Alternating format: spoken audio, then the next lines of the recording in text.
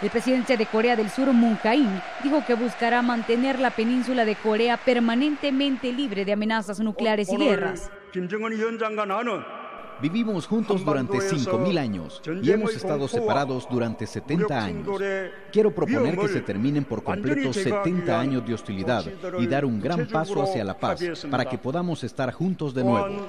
Moon hizo la declaración frente a los ciudadanos de Pyongyang después de ver una actuación de un juego masivo de Corea del Norte.